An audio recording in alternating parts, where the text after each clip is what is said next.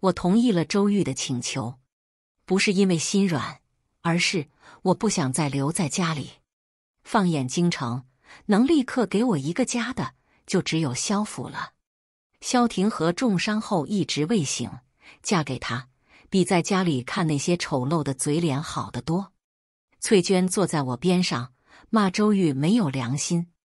我笑了，人往高处走，他选择嫡姐。不要我是人之常情。周玉是嫡姐宋清河的表哥，家世很好，为人也端方清润，而我只是个位卑命苦的庶女。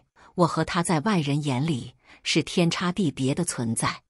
原本我和他也不会有交集，但去年的上元节，他突然送了我一盏莲花灯，还说早就注意到我了，言辞间都是对我的爱慕。他俊朗清高，出身世家。我虽觉得不真实，但还是生出了奢念。如果能嫁给他，于我而言是飞上了枝头，高攀了。可后来我才知道，周玉之所以来找我，是因为他听道士说自己将有大劫，需要一个命格硬又属虎的女子挡灾。于是我就成了他的选择。现在他的灾去了，又高中皇榜，前程似锦。当然不娶我了，可是你也不能嫁给萧将军啊！他要是死了，您就要守寡；他要是活了，听说听说他凶起来能吃人。我扑哧笑了，点了点翠娟的额头，圣上点名让嫡姐去冲喜。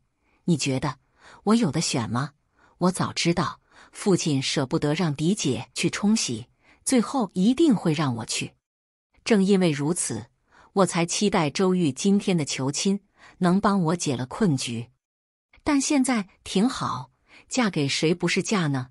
因为是冲喜，所以婚事办得很仓促，从小定到成亲不过半个月。出阁那天，周玉隔着门帘给了我一把扇子，他说：“将来如果遇到难处，就让人拿着这把扇子去找他。”但我离开时，将那把扇子丢在了桌上。将来我就是要饭，也不可能去找他。轿子颠了几下，便到了萧府。因萧庭和是镇国将军，所以府里倒很热闹，入耳的都是恭喜。我被送入喜房，自己掀了盖头，便看到了躺在床上的萧庭和。他脸色苍白，生气暗淡，但纵然这样，却仍能从他刀削似的眉眼中看出他往日的威严和俊朗。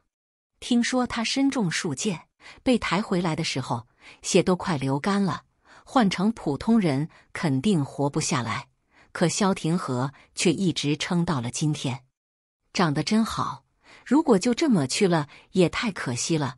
我坐在床边，忍不住抚上他的眉眼。他们都说我命硬，能挡煞，希望对你也有用。前院的宾客散了，伺候萧庭和的嬷嬷来交代我。照顾萧庭和的细节，我一一记下了。今日擦过身子了吧？听完嬷嬷的话，我忍不住问道：“今日大喜，一早就给将军擦洗过了。不过明日开始，这些事都要夫人做了。”嬷嬷说完这些便走了。我松了口气，还好今天不用给他擦洗，明日明日再想办法。我将萧庭和的手从被子里抽出来。轻轻给他揉着胳膊，嬷嬷说：“每日都要这样按一按，这样萧庭和的身体才不会僵硬。左手也有茧子，难道他是左撇子吗？”我一时好奇，又拿出他的右手，右手也有，难道是用双刀？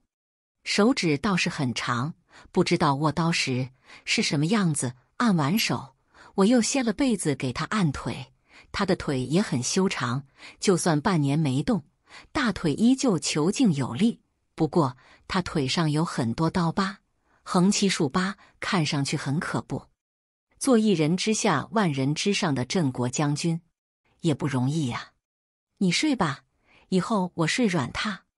但如果你醒了，可别因为惊讶房里多个人而杀了我。我是无辜的。我取了衣裳去沐浴。出来后，擦着头发，视线忽然一顿。他手怎么在被子外面？我刚才没放进去吗？我在床前站了许久，但他的手没有再动过。我又将他的手放回被子里。夜里倒很安静，但我睡到半夜又惊醒，忙开了房门喊嬷嬷进来。可是将军有事，嬷嬷问我。嬷嬷，我朝床上看了一眼，有些为难的小声问他：“将军需要小姐吗？”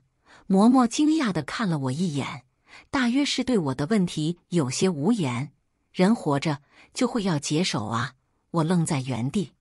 夫人，这些事一开始是羞涩，可是熟能生巧。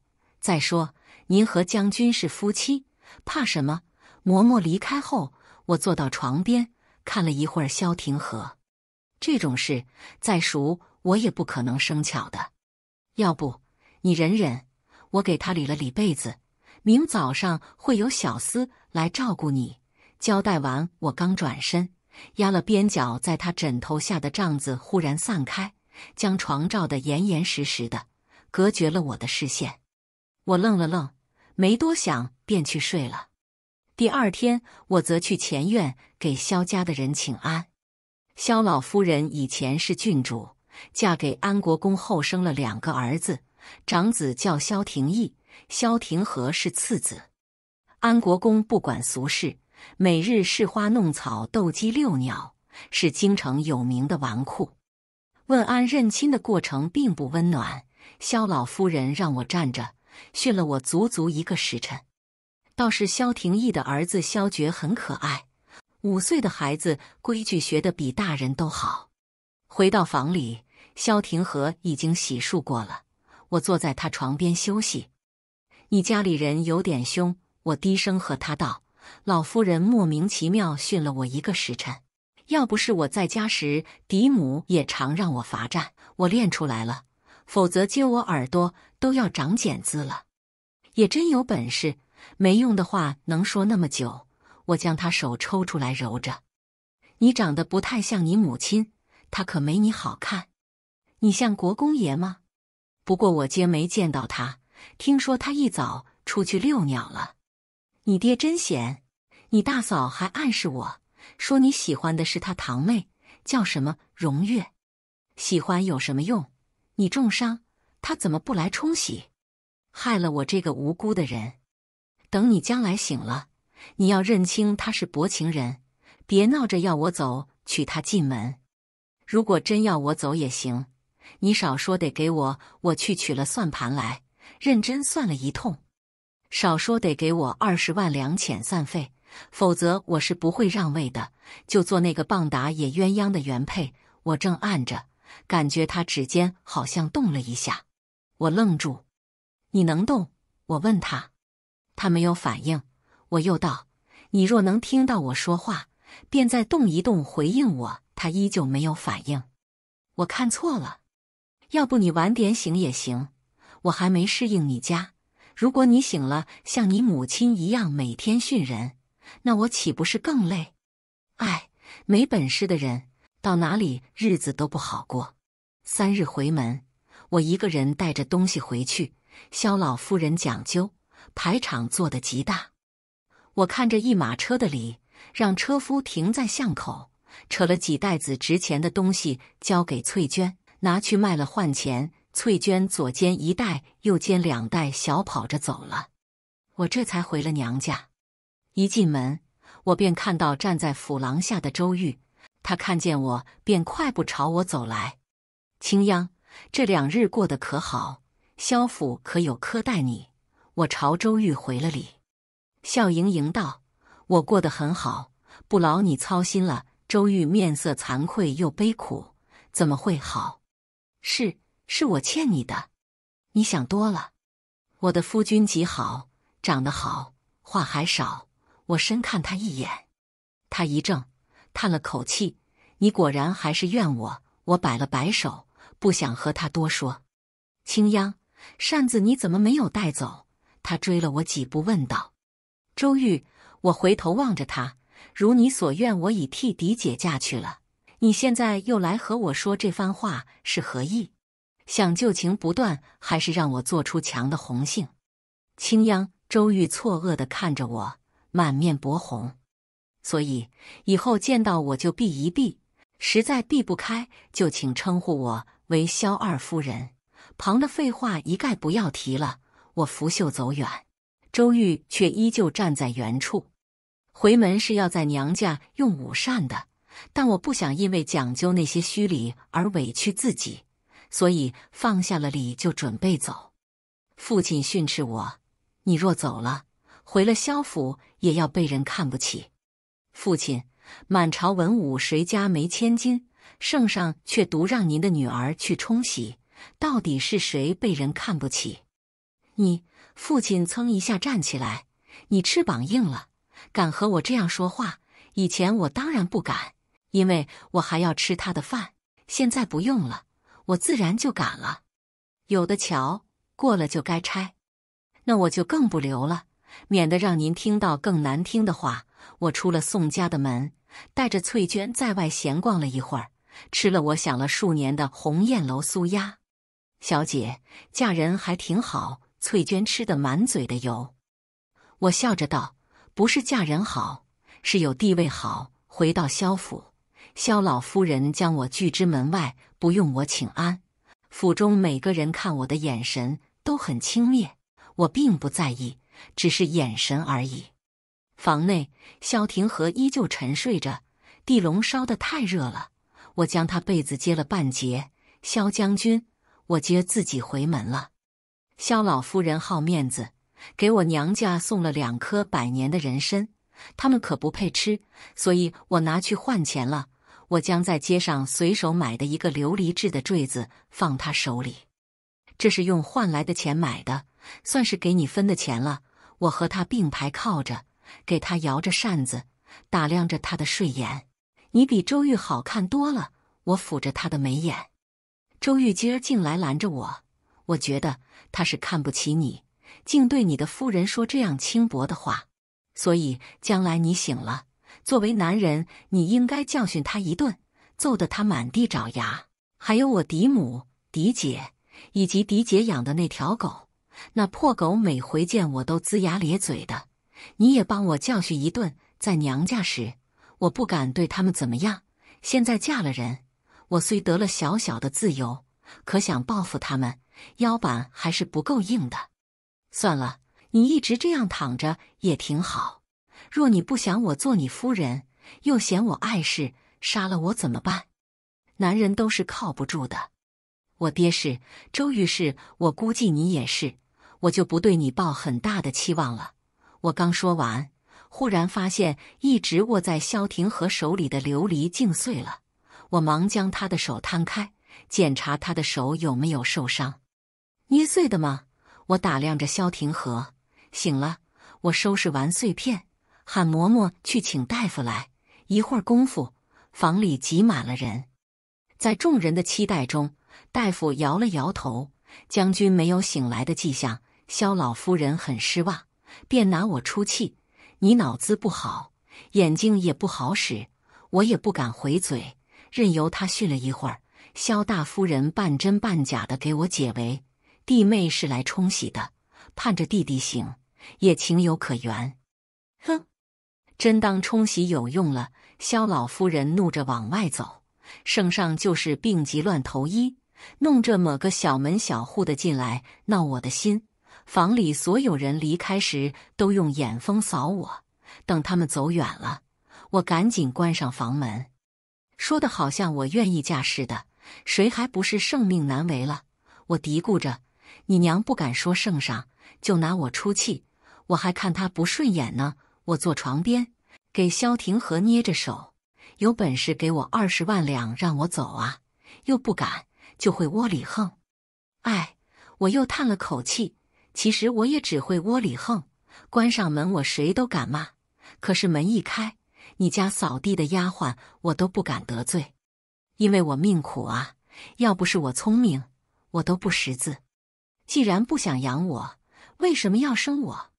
我爹这人连条狗都不如，狗还知道护犊子呢。不过刚才的琉璃是怎么碎的呢？难道他醒了，却假装没醒，故意装睡？萧将军，我凑上前，细细观察他的眉眼。等了一会儿，我又挠了挠他脚心。我刚才说了什么，让他捏碎了琉璃？再说些狠话，他会不会还有反应？萧将军，我趴在他耳边道：“你的钱我知道放在哪里，今晚上我就偷了。”没反应。萧将军，我继续道：“我我要去找周玉，和他私会，让你颜面无光。”萧将军，你再不醒，我就要亲你喽！亲了我还不对你负责，看你怎么哭！他手指动了动，我眼睛一亮，又道：“萧将军。”你是不是要小姐？我我帮你啊！我话刚落，他的手猛然攥紧了我的手。萧庭和的目光很锐利，冷冷的看着我。将军，你真的醒了！我赶紧邀功。我先自我介绍，我叫宋清央，是给你冲喜的夫人。我一嫁来，你就醒了。你和我都是极有福气的人。我笑得很和气。尽量让自己看上去像个福星，将军真是风度翩翩，勇猛不减。萧庭和看了我许久，正当我以为他不会说话的时候，他却忽然道：“出去。”行，我迅速出去。忽又听他喊我，叫我家人过来。是是，我应了，出去喊他家里人。转瞬间，府中所有人都涌到院子里来。我站在翠娟房间的小小窗口前，打量着外面。小姐，将军会赶咱们走吗？会。以萧庭和方才对我的态度，我觉得他不是个会感恩的人。咱们现在还有多少银子？加上陪嫁和接卖的东西，一共有一千六百两，远远不够。你现在出去，逢人就说因我冲喜，萧庭和醒了。小姐。将军会相信是因为您冲喜，所以他才醒的吗？也有可能是被我气醒的。翠娟立刻就去办事了。我琢磨一下，决定回去。有的功劳必须领。房间里挤满了人，哭笑声不断。萧庭和倒是很安静。忽然，他的视线穿过人群，投到我身上，众人也顺着他的视线看向我。我忙红了眼眶。掉了几滴眼泪，将军醒了，真让人高兴。萧老夫人深看我一眼，又对萧庭和道：“这是户部送大人家的姑娘，你若不喜欢，明就送她回去。”萧庭和皱了皱眉：“我累了，你们都出去吧。”萧老夫人没说话，带着一干人等又如潮水似的退了出去。我赶紧捏着帕子上前，乖巧的喊他：“将军。”你饿不饿？渴不渴？累不累？这会儿又规矩了。他看着我，似笑非笑。我一直规矩的，我笑着道：“我在娘家就是出了名的乖巧。”你知道我是怎么醒的吗？他问我。我摇了摇头，确实不知道，可能连大夫也不清楚。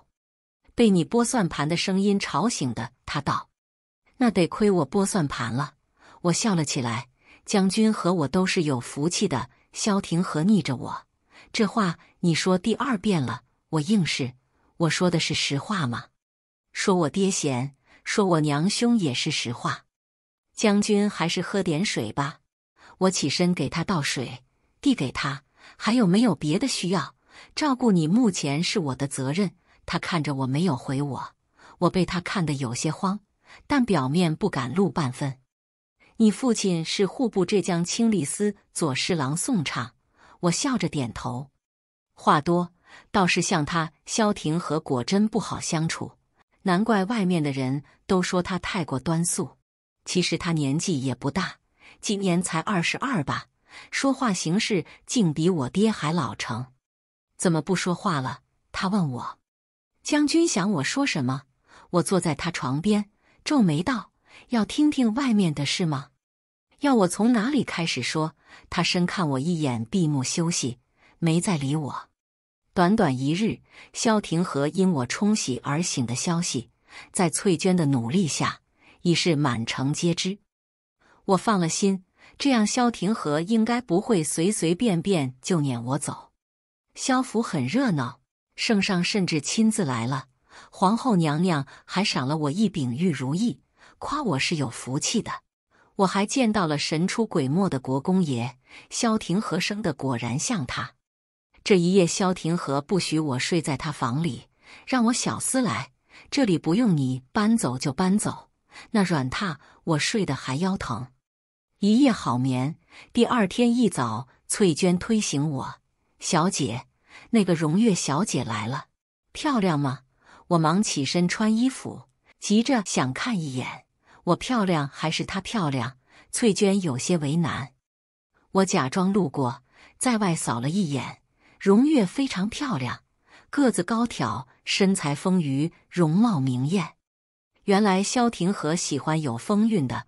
我琢磨了一下，决定不去正屋，以免被荣月比得更素淡稚嫩。听到哭声了吗？我贴着墙偷听。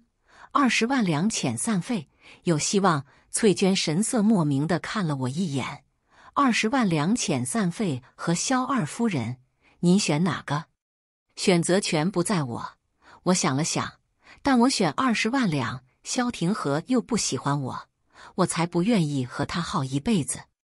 二夫人隔着门，嬷嬷喊我：“将军，请您过去说话。”我皱眉，喊我去干什么？难道还要我看着他们恩爱？我特意换了一身更素净的裙子，连头钗都去了，看上去楚楚可怜。我去了房里，萧庭和靠在床头，荣月坐在我平时坐的凳子上，眼睛红红的。显然是刚狠狠哭过。将军有事找我，我柔声道：“夫人，送荣小姐出去。”萧庭和道：“我暗暗惊讶了一下，忙笑着应是。”荣月不满，噌一下站起来，冲我发脾气：“我不走，要走也是你走。”她发脾气时也漂亮，像一朵艳丽的牡丹花，美得很吸引人。荣月，二哥哥。荣月跺脚：“除了你，我谁都不会嫁，不然我就剃头当姑子去。我有夫人，也不会再纳妾。”萧庭和看向我：“过来，要不我先出去，你们再聊聊。”我贴心的道。萧庭和没说话，但他的眼神却震慑了我。我一步没敢动。荣月推了我一下：“你说一个价码才肯自动请离？十万两够不够？”二十万两，我搓了搓手。萧庭和盯着我的手，磨牙。宋清央，你敢？三十万两。荣月道，外加一间宅子，只要你点头，我立刻让人将银票和房契送来。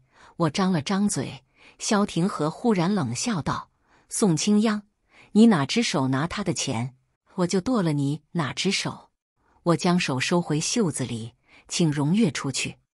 荣月气得跺脚，提着裙子跑了。萧庭和冷冷的看着我：“你刚才动心了？”他问我。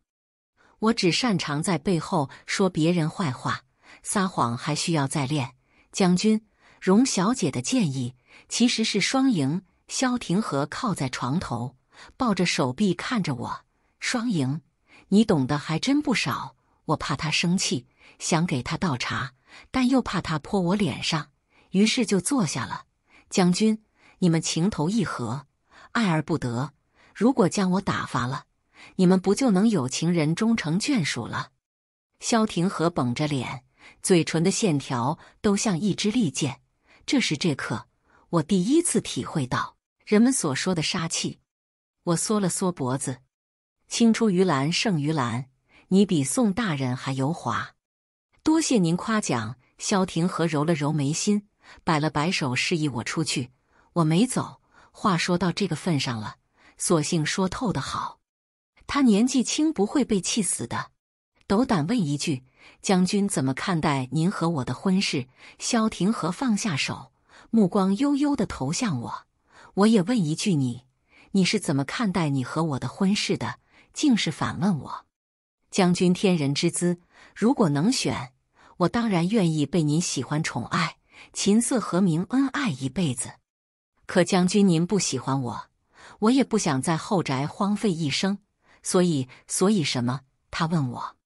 所以，如果能给我三十万两，二十万两也行，我愿意为了将军的幸福牺牲自己。萧庭和看着我笑了。萧庭和将我赶出来了，翠娟吓哭了，一两银子也不给，就赶您出来了吗？我皱眉，他比我想象的抠门。方才他很生气，说他只有丧偶，没有休妻再娶的可能，让我死了这条心。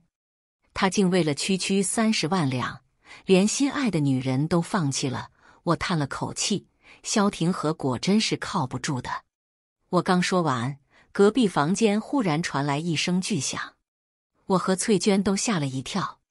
又等了一下，萧庭和的长随来喊我过去。我去了隔壁，萧庭和坐在桌边喝茶，一身藏青长袍，衬得他眉眼更加锋利。将军找我，他递给我一个匣子，我不解，打开了匣子，随即被里面摆的东西惊住了，银票。他绷着脸，三十万两，给我！你要赶我走了吗？我语调不自觉的轻快起来，但立刻反省了自己，又迅速红了眼眶，哽咽着：“将军要赶我走了吗？”萧庭和揉着眉心，很头疼的样子。不要和我装，我只好用衣角擦了擦眼泪，抱着匣子坐在他对面。这银票是你的。萧庭和看向我，但不是赶你走。你既进了萧府，做了萧二夫人，那这辈子就都是萧二夫人。我可以走，我告诉他。宋清央，我给他倒茶，示意他喝一口。萧庭和没喝茶，而是深吸了口气。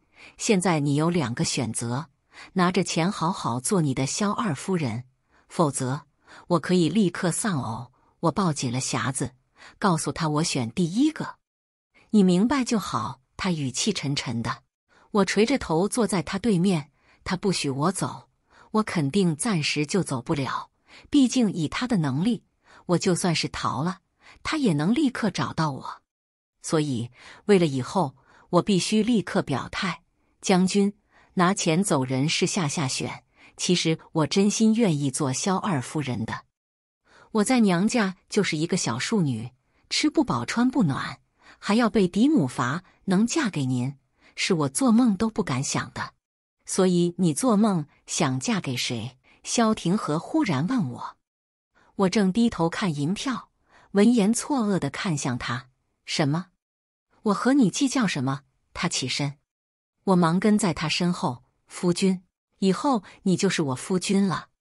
夫君慢些。我扶着他坐下，又为他牵了被子。他看着我左手抱着的匣子，又看看我，没说话。我小心问道：“夫君，我要搬回这个房间住吗？”萧庭和被呛了一下，以拳抵唇，咳嗽了几声。随你。我想了想，那我和翠娟住，免得挤着夫君了。萧庭和看向我，眉头抖了抖。我向他行了礼，高兴的抱着匣子走了。下午，我和翠娟将钱存到了钱庄。小姐，将军为什么给你钱还不让你走呢？不知道，但拿钱办事，以后我会做称职的萧二夫人。那将军要是和您圆房呢？您同意吗？同意呀。我买了些零嘴，又给萧庭和带了一些。三十万两呢？你认为我哪里值这个钱？翠娟很高兴。那以后我们有家了吧？还真是，我们暂时有家了。回到萧府，我去给萧庭和送零嘴的时候，荣月正从他房里出来，看见我，他突然上前来，猛然扇了我一耳光。宋清央，你不要以为二哥哥喜欢你，他只是可怜你而已。冲喜的人是你还是别人，他都会留下来的。你没什么特别的。荣月说完便跑走了。四周的丫鬟婆子看我被打，也嘻嘻哈哈的笑着。我摸了摸火辣辣的脸，一抬头便看到萧庭和正在不远处，面无表情的望着我。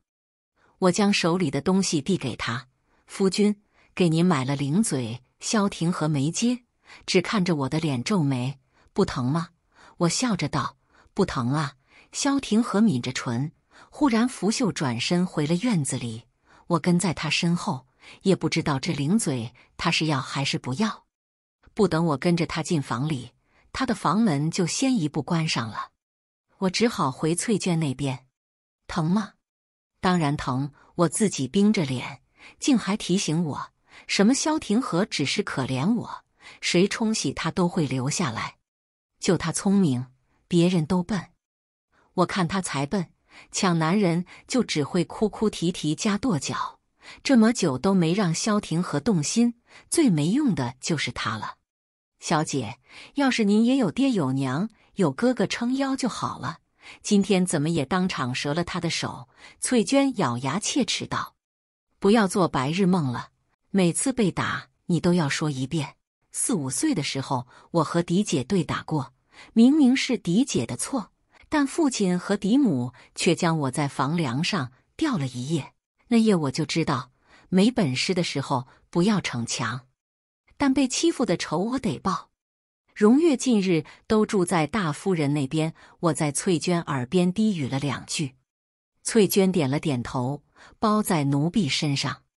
这里不同家里，你一个人不行，得咱们两个一起。夜里，我和翠娟忙活了半夜，下半夜摸黑去荣月院里，她房外守着婆子，我们在门口蹲了一个时辰，婆子终于醒了，提着灯笼踢踢踏踏去解手。上，翠娟提着一个布口袋，迅速跑进去，推开房门，将口袋里抓到的十几只老鼠全部丢进去，而后关上门。啊！救命！听到荣月的叫声，我和翠娟满意的往回跑，但我们大意了，忘了这里是国公府，而不是宋家。巡逻的婆子小厮听到叫声就出现了。我和翠娟躲在墙角，不敢乱动。小姐，要是被抓到了，我们会被赶出去吗？嘘！我捂住翠娟的嘴，但已经迟了。有人冲着这边吼道：“谁？谁在那边？”我蹲在地上，拍着后背，踩着我翻到围墙那边去。翠娟踩着我爬上去，她骑在围墙拉我。我刚爬了一半，翠娟的脸忽然扭曲了。怎么了？看见鬼了！我回头就看到五六步外，萧庭和负手而立，绷着脸正看着我。夫夫君，我朝着他挥了挥手，上也不是，下也不是。小厮的脚步声越来越近，萧庭和朝我走过来，提起我，轻松越过了墙头。翠娟也被萧庭和的长随提溜着离开了墙角。风扫在耳边。我仰头望着萧庭和，他下颌如刀锋般端肃又严厉。我缩了缩脖子：“夫君，你好有本事，真厉害！少和我花言巧语。”萧庭和踢开房门，将我放下来。他拂袍落座，盯着我，站好了说：“其实也不是什么大事儿，我只是抓了几只老鼠送给荣小姐玩。”我小声道。我悄悄抬头看了一眼萧庭和，他又在捏眉心。过了好一会儿，道：“你可真是好人，大半夜送老鼠给他玩。”我没敢接着说话。宋清央，你要再和我没半句真话，我就军法处置你。我说他白天打我，但我不敢打他，可又咽不下这口气，所以，所以为什么不敢当场打回去？他问我。我立刻选择坦白，因为我现在吃的是他的饭，因为他是荣月，而我只是宋清央。萧庭和没说话，但我听到外面有小厮在向萧庭和回禀老鼠的事。萧庭和看我一眼，自顾自去洗漱。一刻钟后，他躺在床上，波澜不惊地看着我，睡过来。啊！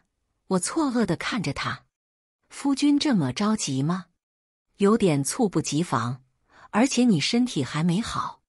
宋清央、萧庭和打断我的话，又深吸了一口气，少废话，让你做什么就做。哦，下午才和翠娟讨论圆房的事，没想到晚上他就三十万两，果然不好拿。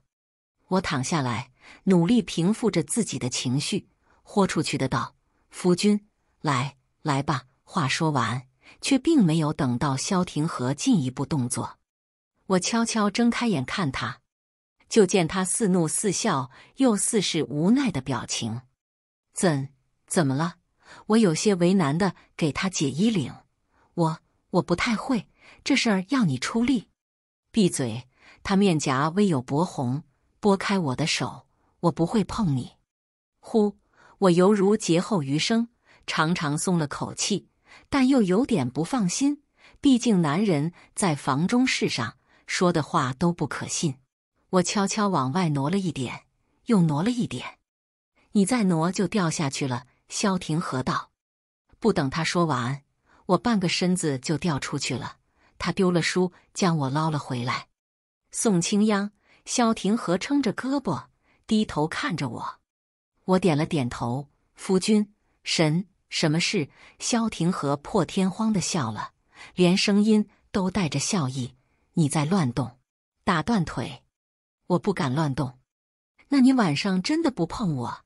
他不看我。你在说话，我就不敢保证了。我赶紧翻了个身睡觉。第二天醒来的时候，他已经不在床上了。我正要起床，丫鬟婆子推门而入，一溜排的端着脸盆和衣裳候着。二夫人，奴婢们伺候您起身。我惊讶不已，这还是我嫁来后第一次受到这样的待遇。我悄悄问翠娟：“荣月昨晚可来找过我？”翠娟点头。将军作证了，说你昨晚一直和他在一起。让我睡他屋里，原来是这个用意呀。吃早饭时，萧庭和坐在我对面，他吃相很斯文，细嚼慢咽，不急不慢。夫君，这些丫鬟婆子是您吩咐的，这是二夫人应有的待遇，不用我吩咐。萧庭和沉声道：“你喜欢吃什么，告诉他们。院子里的事，往后也都交给你。”他说着，让云鹤进来。云鹤又捧了一个匣子给我，二夫人，这是二房所有的家当和钥匙，都交给您保管。我错愕的看着萧庭和，行，夫君信任我，那我会力所能及的回报你。萧庭和脚步顿了顿，出了门。这么多东西都借走了，整理了萧庭和的家业后，我找来二房的管事，二夫人，管事笑得很尴尬。大夫人说。说都是一家人，二爷又没成亲，所以我笑了一下，看不出来萧大夫人还是个爱占便宜的。萧庭和库房里，但凡值点钱的东西都被他借走了，如今二房的库房就是个空壳子。你将大房和别处借走的东西列个清单给我，管事忙去办事。晚上萧庭和回来。我将白天列的清单拿给他看，他有些意外。你整理的，嗯，你的库房已是空壳子了。萧庭和扫了一眼清单，又还给我，你看着办。想要就要回来。我怔了怔，你让我要，那你要帮我撑腰。他深看我一眼，嗯，我给你撑腰。行，我挽着袖子，那我可就不客气了。萧庭和失笑，想了想，又补了一句。不许打架！他还是不了解我。我报复别人都是玩阴的，因为正面我不敢。第二天我就去找大夫人要东西了。大夫人先是打官腔，说到后来便翻了脸，闹着去找萧老夫人评理。荣月也帮着她，姐妹两人朝我一个，那就去找老夫人评理。我率先往外走，既然萧庭和给我撑腰。我就没什么可怕的了。闹了一下午，我大获全胜。但萧老夫人为了给大夫人挽回面子，寻了我错处，罚我跪在院子里。萧庭和回来的时候，我已经跪了半个时辰了。他直接越过我进了房里，过了一会儿就出来了。能走吗？他问我。能走，不疼。我笑着道。回去后，我去洗漱。回来时，听到萧庭和在和萧庭义说话。萧庭义苦笑：“弟妹小小年纪，却泼辣的很。往后家里要不太平了。”萧庭和没说话。庭和，你真喜欢他？他有什么可喜欢的？长得虽漂亮，但也不是万里挑一的喜欢就是喜欢了。萧庭和打断萧庭义的话，大哥也提醒大嫂，都是妯娌，还是互相尊重的好。若真的闹起来，大家脸上都无光。你，你还真是那么多女子想要嫁给你，你一个都不喜欢，竟看中了这么个小丫头。萧庭义叹了一声，走了。萧庭和说完，推门进来，看了我一眼，什么都没说，便去洗漱了。我低头擦着头发，脚尖踢着掉在地上的腰带，脑袋空空的。不冷。他忽然出现在我身后，盯着我的脚。我一慌，忙藏了脚在裙子里，又因太慌了，从凳子上倒栽下来。宋清央、萧庭和将我提着放到椅子上站着。你脑子里都在想什么？我忙不迭的道：“想夫君呢。”他一愣，随即笑道。花言巧语，因要东西的事，得罪了大房和萧老夫人。好几日，萧老夫人都不让我去请安，我也乐得自在。腊八节那天，宫中送了请柬，皇后娘娘请一干外命妇入宫饮宴。晚上我有些慌，睡前忍不住问萧庭和：“有什么禁忌吗？比如什么话能说，什么话不能说？什么人能结交？”什么人不用结交？萧庭和放下书，望着我。圣上膝下三位皇子年岁相差不大，前朝和后宫都分了派系。明日去，你只要跟着母亲，尽量不开口就好。行，我认真想了想。那既分了派系，夫君您拥趸谁？我和宁王一起长大，关系比较近，他的能力在三位皇子中也最出色。他顿了顿，道：“宁王妃有女诸葛的美称，你可以留意一下。我一一记下了。”第二日一早，府中便套了两辆马车，萧老夫人和大夫人一辆，我和荣月一辆。一上车，荣月便质问我老鼠的事，我自然不承认。你不要得意，二哥哥他根本不喜欢你。当初不管谁嫁过来，二哥哥都会我打断他的话。荣小姐，你要真喜欢萧将军，就该多花点心思在他身上。赶走我，他就会娶你了。他被我问的愣住，多用点手段。我语重心长的拍了拍他的肩膀，除了放狠话，你是一件有用的事都没做。荣月错愕的看着我，后面一路都没有再开口。宫中十分热闹。三品以上的诰命夫人以及家中小姐都在列，开了十几张桌子，坐得满满当当的。我一出现，许多人都好奇地打量着我，四周窃窃私语声不断。是个庶女，命真好，这下真是飞上枝头变凤凰了，就是不知道能不能上的台面。小门小户的庶女有什么见识？萧将军为人太正了。就该送她回娘家。我端茶喝着，认真听着皇后说话。圣上一直未立太子，倒不是因为他犹豫不定，而是因为先前有过一位太子，是以是孝端皇后所出。先皇后死后，圣上娶了如今的皇后。皇后入宫的第二年，生下了三皇子宁王。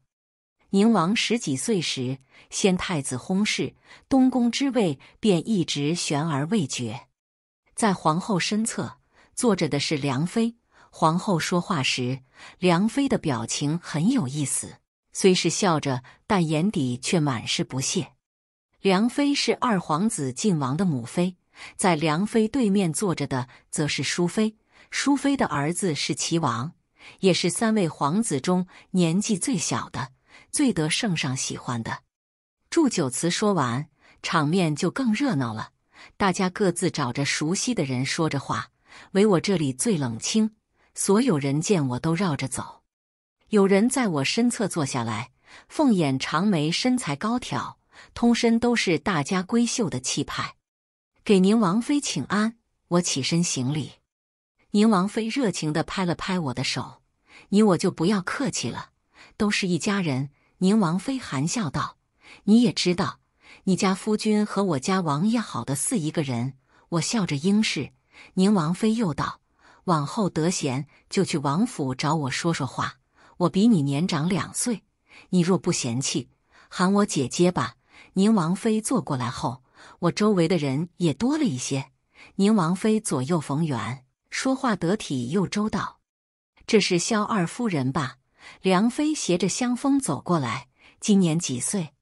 瞧着年纪很小呢。我回她，回娘娘的话，今年十六了，可看不出来。瞧着跟十三四似的。梁妃捏了捏我的脸，真是水灵。梁妃话刚落，忽然她一侧的汤碗不知怎么倒了，她哎呦一声站了起来。提着裙子，怒目看着我。萧二夫人这是对本宫不满。我皱眉。宁王妃也站了起来，皱眉训斥一侧的宫女：“你做什么呢？毛手毛脚的，还不快给娘娘赔礼！”宫女吓得磕头认错。庶女就是没规矩。梁妃没心思留下来，瞪了我一眼，带着人走了。没事了。宁王妃拍了拍我的手：“有我在。”你不必怕，我看向宁王妃，笑着向她道谢。回去的时候，萧庭和在宫外等我。梁妃接训你了。一上车，萧庭和便问我吓到了吗？这点事吓不到我。再说我是萧二夫人，只是汤泼她裙子上而已。今儿我就算拿汤泼她脸上，她也不敢真问我的罪。我当时没辩驳，不是因为害怕。而是因为你倒看得透彻，萧庭和轻笑，但却没有否决我的话。见到宁王妃了，见到了，也说了话。我顿了顿，宁王妃果真名不虚传。萧庭和看着我，挑了挑眉：“夫君，以后我也能仗势欺人吗？”我凑过去，挽住他胳膊，笑着问他。萧庭和被茶呛了一下，我赶紧取了帕子给他擦嘴。你想欺负谁？他笑着问道。还没对象。总之，我很想这么做。我很认真的道：若真想仗势欺人，明面上也要占理，让人说不出话来。萧庭和道：知道了，知道了。我给他捶着腿，心里十分雀跃，恨不得现在回娘家，将我嫡姐的狗炖了，然后将她嫁个傻子。做萧二夫人的好处果真不少。萧庭和睨了我一眼，就这么点出息。到家后，萧老夫人喊我们一起用晚膳。刚坐下，他就开始向萧庭和告状。他当时吓得一句话都不敢辩，平白让别人看笑话。每个人眼里的笑话都不一样。萧庭和起身，我以为母亲是明白这个道理的。他牵着我便往外走，我忙提着裙子颠颠的跟在他后面。肖老夫人拍了桌子，至于骂了什么，我是一句没听清。萧庭和心性坚韧，轻易不会被其他人改变想法，所以在这个家里，我只要巴结讨好他就行了。夫君，你没吃饭，我去小厨房给你煮面条吃吧。我追上他，眼巴巴的看着他，他逆着我巴结我。不不不，是因为夫君对我好。所以我也要对夫君好。他轻笑。小厨房嫌少用，翠娟生火，我擀面，煮个面条，足足用了一个时辰。等端去书房时，我竟从虚掩的房门缝里看到了荣月。萧庭和坐在椅子上，背对着门；荣月则靠坐在萧庭和的腿上，搂着他的脖子，贴在他的怀里，满腔柔情的喊了一声“二哥哥”。小姐。翠娟要推门，我摇了摇头。将军有事，不要打扰他。这一夜，萧庭和没有回房。第二天早上，翠娟将我推醒。小姐，将军一早送荣月小姐回家了。现在府中都在传，说将军先将她送回家，过些日子就会上他家提亲。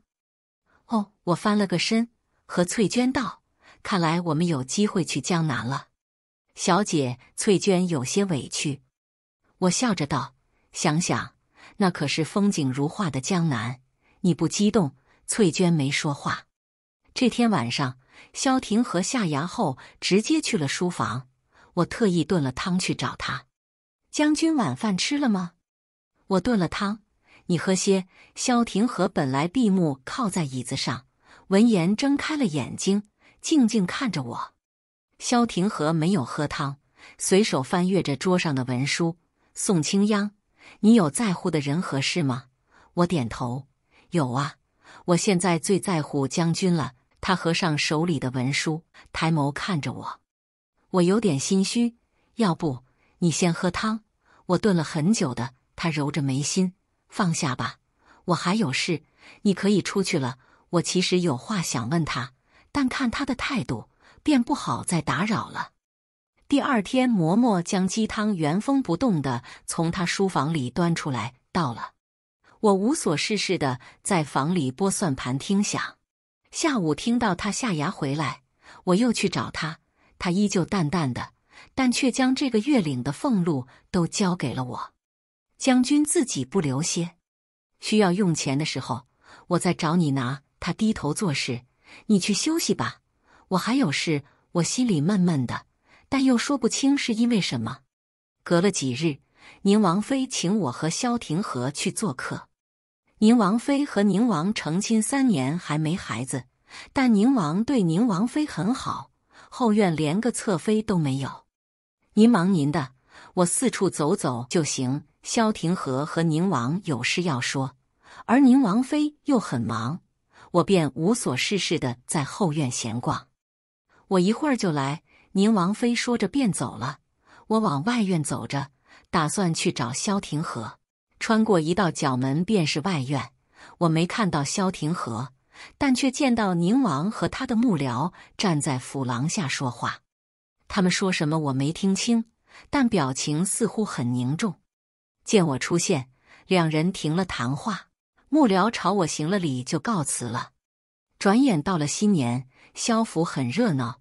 我和翠娟上街去买焰火，问了几家，竟都卖空了。最后打算回去时，竟遇到了周玉。你要买焰火吗？我铺子还有些存货，我拿给你。周玉拦着我道：“不用了，我夫君会给我买的。”我绕开他要走。周玉却追着我好几步，和我并肩而行。青央，我知道萧庭和对你不好，他还和那个荣小姐不清不楚。青央，我现在每天每夜都在后悔，当初不该让你替嫁。其实那天我真的是去求亲的，但是我见到了姨母，姨母让我说服你替嫁，因为你是庶女。萧庭和如果不醒，国公府不会留你在家。如果萧庭和醒了，他也不会让一个庶女做他的正室，更不会停妻再娶，所以他一定会先休了你。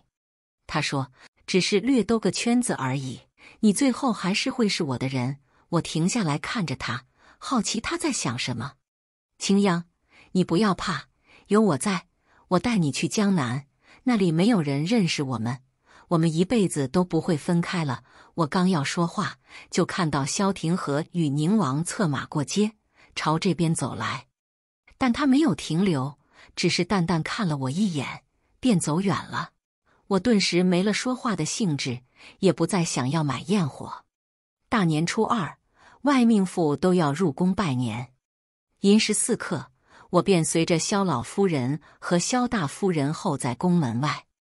以你这样的身份，是配不上二爷的，还是主动请离的好？萧大夫人拢了拢斗篷，我没理他，专注的看着徐徐打开的宫门，跟在各位夫人身后入宫。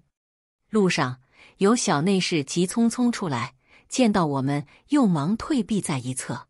我扫了一眼对方脚上的鞋子，跟着人群进了坤宁宫。坤宁宫里比上次还热闹。皇后主持大局，梁妃协助在侧，淑妃今日不在。宁王妃坐在我斜对面，看见我，她微微颔首，不如上次热情。我低头喝茶，耳朵里听着各路传来的话。进卯时的时候，外面忽然传来一阵错乱的脚步声。我放了茶盅出门，一只脚刚踏出门槛，脖子上便是一凉。我低头看了看脖子上的刀，又抬头看向对面拿刀的人，我不认识，但他穿的是羽林卫的紫袍。我后退，再后退，身后传来此起彼伏的妇人们的惊叫声，以及皇后的呵斥声。都老实待着，谁敢乱动？我的刀可不认你是娘娘还是夫人。没有人敢动，店门被从外面关上。是羽林卫，他们想干什么？张大官，你想法子从后门出去，想办法去通知圣上，就说宫中生乱了。众人七嘴八舌。张大官在皇后娘娘的吩咐下从后门出去，但一盏茶后，他的头被人从外面丢了进来。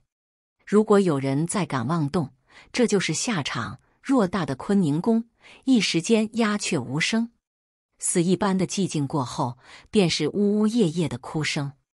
皇后娘娘脸色煞白的坐在椅子上，梁妃也一改先前的张扬。六神无主的端着茶盅，茶水不断从晃动的茶盅里溅洒出来。齐王逼宫谋反了，不知是谁小声说道：“焦良平。”梁妃突然摔了茶盅，她竟敢造反！她好大的胆子！焦良平是淑妃的闺名，而齐王则是淑妃的儿子。有人将淑妃娘家的嫂嫂推了出来，焦夫人瘫坐在地。吓得只会重复说她不知道。现在主要是圣上的安危，宁王妃站了出来，开始主持大局。他们圈禁我们在这里，就是为了要挟满朝文武。所以现在最危险的不是我们，而是圣上和另外两位皇子。王妃不愧是女中诸葛，一言道破了当下的关键。有人赞道：“那怎么办？”要尽快给圣上报信才行啊！宁王妃在殿中来回走动，所有人都安静的等着他想对策。忽然，他将视线投向我：“萧将军今日陪在圣上左右，不如让萧二夫人出去报信吧。”大家又都看向我，有人问他怎么出去。我有办法送萧二夫人出去，只要萧二夫人敢，江山安危。我们这么多人的性命全系于此，他不敢也得敢。有人道，一时间大家议论纷纷。我将手里的茶盅放下来，看向宁王妃：“我不想去，宁王妃自己去吧。你去最合适，别人去，萧将军都不相信。”宁王妃道：“那我也不去。为什么？”宁王妃皱眉：“事关我们所有人的性命，你怎能逃避责任？”你来，我告诉你为什么。我朝着宁王妃招招手，宁王妃走到我面前来，我在她耳边低声道：“我这个人既胆小怕事，还贪生怕死，你不该拿我的生死开玩笑。”宁王妃一愣，我抄起桌上的茶壶，猛一下砸在了他的额头上，他一愣，身体晃了一下，倒在了地上。我趁着众人愣神的功夫。迅速将他拖去墙角，用碎瓷抵住了他的脖子。这一次，人群的喧哗声比刚才羽林卫进来时还要大。宋清央，你发什么疯？来人，将这个疯女人拿下！人群往我这边涌。我坐在墙角，掐着宁王妃的脖子。萧老夫人喝道：“宋清央，你想过后果没有？快放开宁王妃！”想活命的都闭嘴！我道：“宋清央，你想干什么？”皇后娘娘拨开人群，站在最前面，质问我：“不想干什么，只是为了活着。”我看着皇后：“你可知道萧庭和与宁王的关系？”皇后咬牙切齿的道：“你这是将他推入万劫不复的境地！”萧老夫人气得直晃，骂道：“蠢妇！”萧将军的事我管不着，但你想要我的命就不行。皇后脸色大变，众人也是一脸不解。梁妃忽然上前来问道：“萧二夫人，你什么意思？”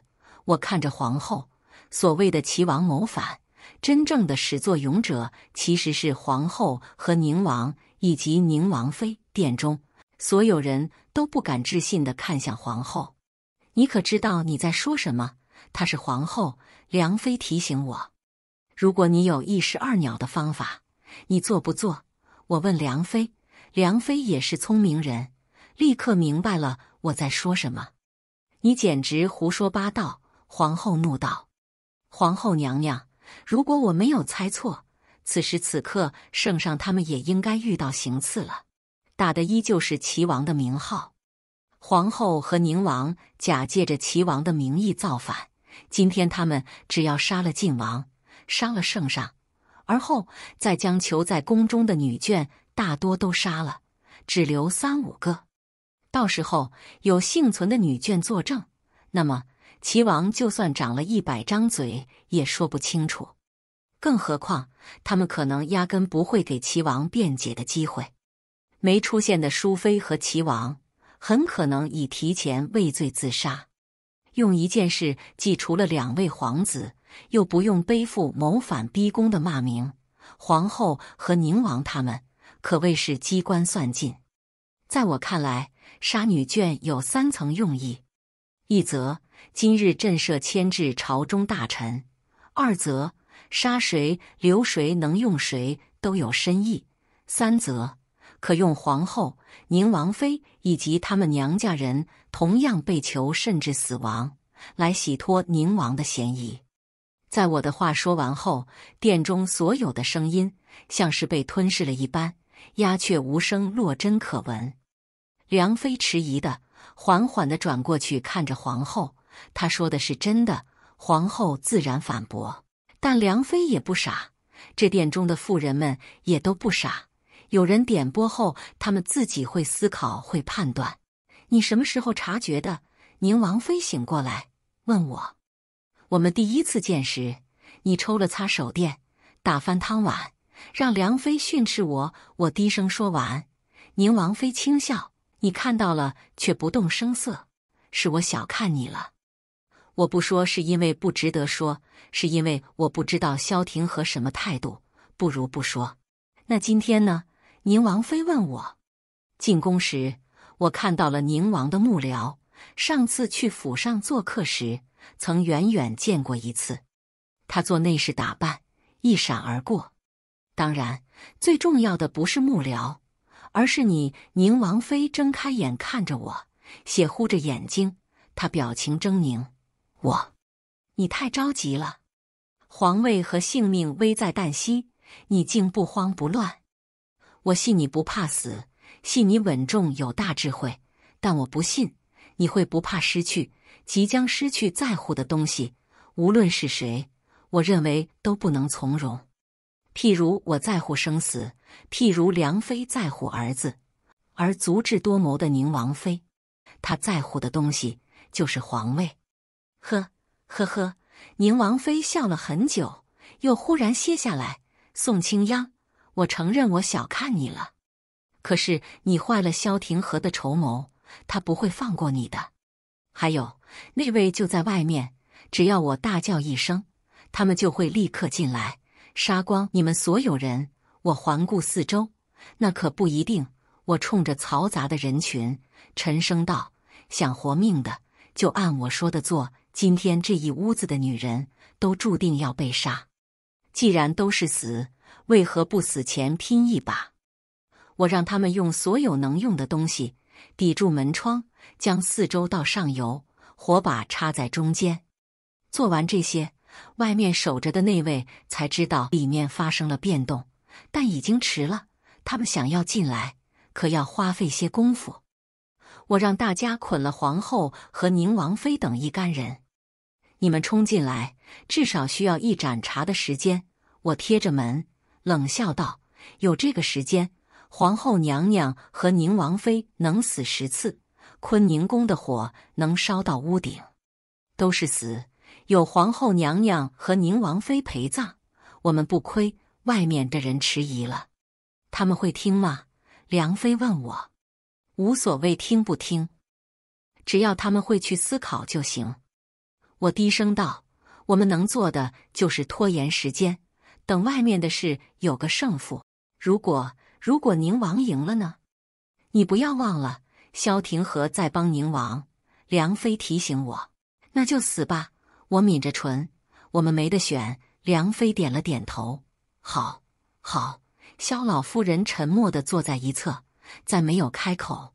等店内安静下来，萧老夫人来问我：“你和庭和商量好了？”“没有。”我淡淡的道。“你，你糊涂！”萧老夫人怒了。我冷冷的看着她。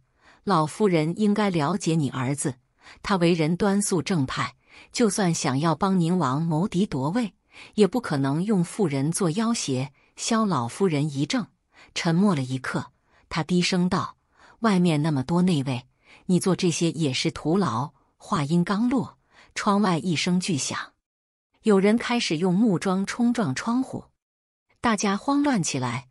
梁飞站在窗口喊着：“如果再砸，他就点火了。”外面的人有些迟疑，但过了一刻又开始砸。我叹了口气：“如果今天真的死在这里，也算我倒霉了。可惜那三十万两，我没命花了。”轰的一声。窗户被从外面撞开，慌乱中火把掉在地上，火苗腾一下点着，窜了起来，撩了纱帘，烧上房梁。殿内哭声一片。就在这时，外面响起了打斗声。下一刻，萧庭和带着人冲进了坤宁宫。萧庭和安排好萧老夫人，带着我出了坤宁宫。他停在我面前，上下打量我，有没有受伤。我抚了抚裙子，摇头。他深看我一眼，忽然在我面前蹲下来。将军，我在动，打断腿。他道：“我不敢动。”他将我裙子掀起一些，便看到我烧破了的裤脚和烧伤的脚踝。刚才火势太大，我躲避不及，被烧到了。这叫没受伤？不疼吗？疼。我说着，忽然觉得后怕。鼻尖发酸，眼泪不受控制的落了下来，又觉得尴尬，忙用袖子擦了，还还好，不算疼。他起身看着我，重重叹了口气：“能走吗？”他问我，我点了点头，跟在他身后。刚走了两步，疼的嘶了一声。他转头看着我，问道：“能抱吗？”我错愕的看着他，不等我回答，他已道：“多余问你。”下一刻，我就被他打横抱了起来。周围许多人看着我们，萧庭和也不管，径直去了太医院，也没有说多余的话，放下我便走了。处理好伤后，我打算自己回去，没想到太医留着我。萧将军说让您在这里等他一起走。我在太医院等得乏了，便睡着了。醒来的时候，听到萧庭和正在问太医会不会留疤。得到否定的答复后，他松了口气，醒了。他扶着我坐起来。宫中的事处理好了，是想现在回家，还是再等等？我问他什么时辰了，他回我子时。那回家吧，我要自己走。他却抱起我便往外走，我也不敢乱动，任由他抱着。夜晚的皇宫很安静，仿佛白天的乱象从来没有存在过。只有萧庭和不轻不重的脚步声。我借着微弱的月光打量着他的脸，他目不斜视，并不看我。宁王妃的头是你打的？他声音淡淡的，但却有种令人心安的沉稳。打打得不好，打得好。他柔声道：“今天的事，我事先也不知道。他是在我昏迷期间筹谋的，幸好有你。”不然我们今天都要死了。幸好我赌对了。萧庭和垂眸看我，我娘说：“你赌我肯定不知情，因为我即便帮宁王，也不会用这种囚禁妇人的下作手段。”当然，我笑着道：“你高风亮节，品德高尚，这种事你肯定不会做。”他嘴角勾了勾，见他面色柔和，我长长松了口气。他却忽然板起了脸。听李夫人说，你要与我和离了，不是？才一天的功夫，他怎么听说了那么多？没，没有啊！我不敢看他，眼睛四处飘，但忽然又觉得不对。将军怎么还质问我了？我们和离，不是你的意思吗？萧庭和突然停下来，低头看着我。我说要与你和离吗？我嘴角抖了抖，嘀咕道：“那……”那你就不想我给荣月让位？你们都那样了。萧庭和冷笑一声：“我和他哪样？你少糊弄我！我那天晚上都看到了。”他嘲讽的看着我：“你看到了，所以贴心的帮我们关好门。那不然呢？难道我打进去？”宋清央，你听听你自己在说什么？他怒目而视。那天下午刚说我好，要好好报答我。一个时辰后，看见他害我，你就贴心的给我关上门。你就是这样报答我的。他害你，那那你不是心甘情愿的抱着他吗？我不服气，我心甘情愿是你亲眼所见。我被他问住了。你但凡多走一步，便能看到我晕在椅子上。若非云鹤进来，我萧庭和的语气有些委屈。荣月说：“是你给他出的主意，叫他在我茶里下药的。”我没有。我大声道：“他总和我说什么？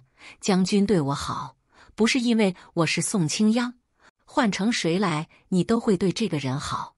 我一时生气就呛他，说他没本事，抢个男人就只会哭哭啼啼。萧庭和低头看着我，我也不甘示弱的瞪他。所以你信他的话，无论谁嫁给我，我都会对他好。萧庭和道：“这话莫名其妙，难道还能因为你喜欢我而对我好？我们又不熟。”我撇过脸去不看他。行。我们不熟。萧庭和将我放在马车里，车徐徐往前走，车厢里灯光晃动，将他的脸照得明灭不定，看不清喜怒。你这样的人就不能对你客气。过了许久，他忽然出声，语气恶狠狠的：“这一夜我睡在床里侧，萧庭和睡在外侧。他从回家后就一直气鼓鼓的。我小心翼翼看他。”他睨了我一眼，看什么？我笑着道：“看你好看呐，就知道花言巧语骗我。”我没有，我小心推了推他：“你别生气了，这样看上去很凶。”他深吸了口气，翻了个身和我面对面：“你还怕我？你这种没有心的人还会害怕？”这语气一点也不像萧庭和，倒像是小孩子在赌气。将军消消气。事情过去了就过去了，你既不娶荣月，那那我还做萧二夫人呗。他笑了起来，语气十分委屈：“做我夫人就让你这么勉强吗？”我错愕了一下，又盯着他看了几眼，确认躺在我身边的是萧庭和，不是别人，便坐了起来。我不委屈呀，我很乐意的，真的。他白了我一眼，我揉了揉眼睛。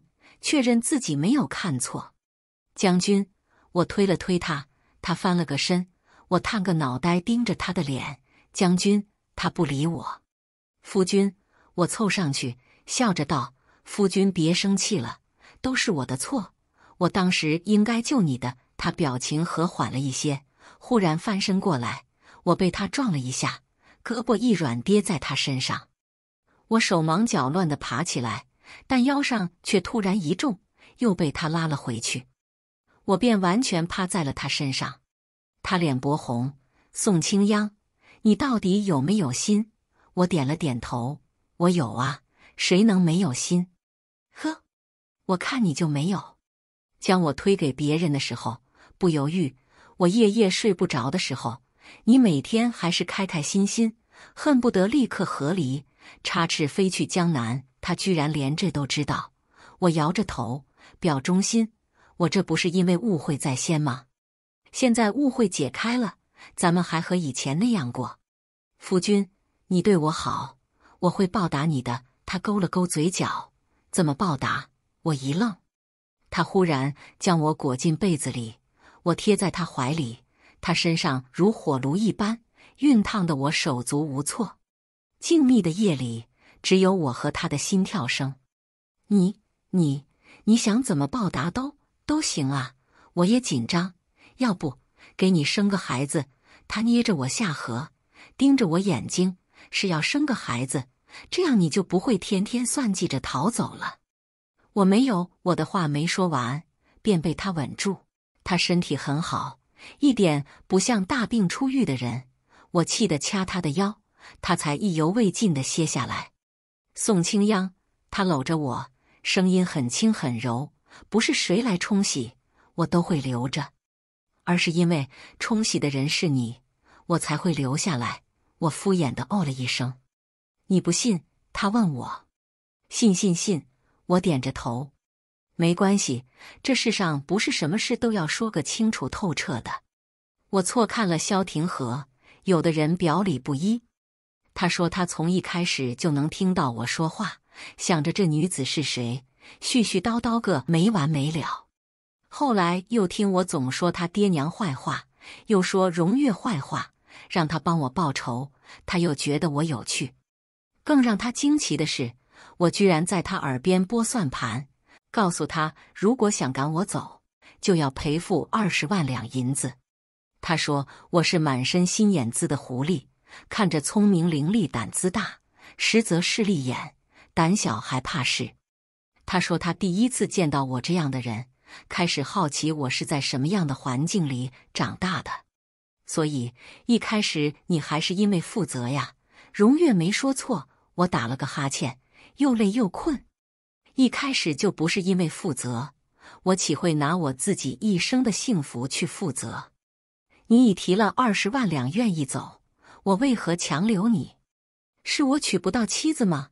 我被他噎住了。他这话还是有几分道理的。在京城，他若想娶谁，乐意的人趋之若鹜，不乐意的人也不敢拒绝。你呢，就知道花言巧语的哄我。他越说越委屈。我又哄了半天，想了想，我开始说自己的凄惨身世。狄姐拿针扎我眼睛，我不让，然后我们就打了起来。父亲和嫡母知道后，就将我吊在横梁上。三九天特别冷，我以为我活不了。后来我就知道，当自己没有本事和能力的时候，就不要逞强。夫君，我遇到你真是我的福气，你可别欺负我。我很可怜的，他怔住，将我搂在怀里，久久无言。我暗暗松了口气。第二日我醒来的时候，他已经不在房里了。翠娟风风火火的跑进来：“小姐，小姐不好了，怎么了？”我腰酸背痛的，艰难的回他的话：“老爷被降职外放了，说是很急，这两天就得启程离开。周公子也是。”圣上说他有本事，让他去岭南了。我一点睡意都没有了，笑着道：“真的？”嗯，夫人这会儿就在外院找萧老夫人求情呢，还说想见您，但被萧老夫人打发了。我坐起来，欢呼了一声，又道：“那条狗呢？”“对对，还有狗，狗在外面。”他刚说完，我就听到院子里有狗叫声。我披着衣服就开门出去，果然看到宋清河的那条狗正趴在我院子里。呵，我指着他，没想到吧？你也有落到我手里的一天。这么胖，够炖两锅的了。狗子的眼睛都瞪圆了，呜咽一声跑过来，用身体裹着我的腿，仰头望着我，一脸的狗腿样。求我也没有用，让你以前狗仗人势欺负我。汪呜！我太开心了，昨晚的疲惫一扫而空。萧庭和恰好从院外进来，我忙收了笑意，踢开狗子，过去抱着萧庭和的手臂。夫君，你帮我报仇了，你真的太好了，我这辈子都会好好报答你的。萧庭和看看我，又看看裹着我腿的狗子，笑了起来。这狗看着很眼熟。萧庭和回了房里。我莫名其妙，翠娟指了指房里，又指了指狗子，提醒我：“小姐，将军好像在说你和狗子很像，就你聪明。”我白了他一眼，踢开又凑上来的狗子，他皮厚的很，又凑上来跟着我摇尾巴。我盯着他看半天，瘪了瘪嘴：“给你换个名字，以后你就叫狗肉。”狗子呜咽一声：“我大人大量。”饶了你一条狗命，我甩着膀子回了房里。夫君，你要换衣服吗？我帮你呀。腰不疼了？疼，不过为了夫君，疼也是快乐。萧庭和转过来帮我解扣子，我捂着衣领，惊恐的看着他。萧庭和大笑，戳了戳我的额头，换衣服和我进宫。圣上要见你，你早说嘛！我松了口气。我跟着萧庭和进宫，圣上赏了我许多东西，还亲自颁了敕封诰命的圣旨。梁妃和大难不死的淑妃也送了好些东西来府中。过后两日，我忙得脚不沾地，因为那日在坤宁宫的夫人们都合约好了似的，一个个都登了门。萧老夫人待我也不似从前，语气柔和了许多。以前的事我也不计较了，往后你和庭和好好过日子，照顾好他就行了。我并不在乎他的态度。因为我吃的不是他的饭，夫君今儿怎么不去衙门？一早我醒来，萧庭和竟在房里办公，不想去。他扫了我一眼：“你不是想去别院泡温泉？我们今天就启程。”我惊讶不已：“你不忙吗？事情忙不完。”他放了笔，拉着我起来帮我穿衣服。我问道：“就我们两个人吗？”他垮了脸。我们两个不行吗？你还想带着谁？没有，我谁也不想带。他高兴起来，我才知道萧庭和很粘人，只要没事，他就在家里跟着我。我做饭，他坐门口，蹲在门口的。还有那条狗，那破狗贼的很，跟在我身边叫，都是压着声音叫。但翠娟说，只要我不在，她冲着别人叫的可大声了。年终的时候，有人给萧庭和送了两个丰腴的美人。萧庭和晚上领回来，我第二天就将人送走了。他笑得很开心，吃醋了。我点头，是。往后谁再给我夫君送美人，我就给他夫人送面首。他坐在桌边看着我，一脸满意的笑。这男人看着凶，但真好哄。我得认认真真的哄他一辈子。